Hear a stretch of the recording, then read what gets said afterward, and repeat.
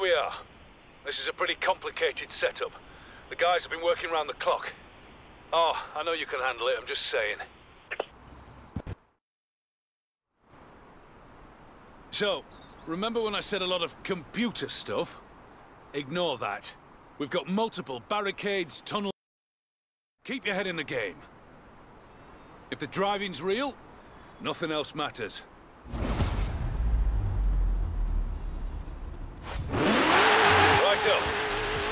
79A.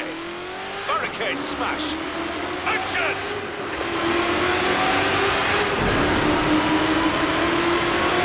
Your route's safe, but try to make it look dangerous, yeah? Throw the back end around a bit. Looking good. Now, gun it through here. There's a ramp by the bridge. Jump it. Plow through the junk on the far side. Look at that sky, though. Big stuff.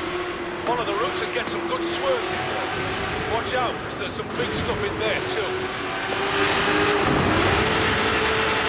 Now, out the final barricade, and hit the jump.